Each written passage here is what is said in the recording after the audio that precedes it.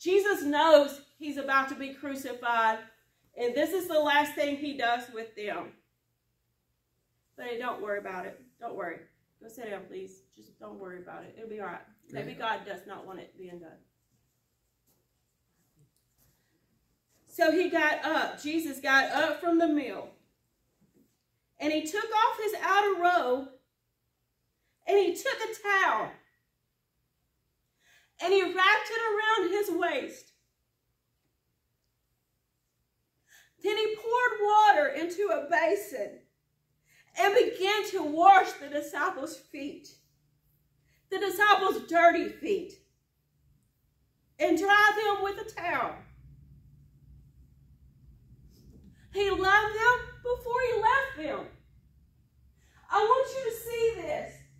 The King of Kings, the Lord of the Glory, said he had everything under his control, under his disposal. He could have not went through this. But he loved them so much, and he loved us, us so much, that he humbled himself as a servant, and he washed their feet before he died for them, before he died for us. Y'all, it is a mighty major thing you know, we talk about gods. Uh, you know, they're not really gods, but we talk about like, you know, Hercules and how powerful he is and all these mythical made up junk. You don't hear about none of them dying for the people that he that they love, but you have a God. I'm talking about God that created everything and he died for us. Right. You've never had another man die for you.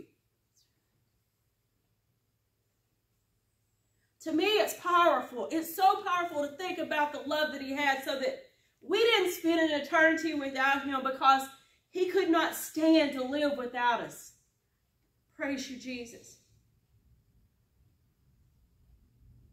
And I want to talk about the wedding proposal. Now, He's sitting at a table with a bunch of burly, I can just see them bearded, excuse me guys for the ones that have beards and I love to see my husband with a beard, but fishermen, tax collectors, hardworking men, he's sitting around this table with them and he's loving on them.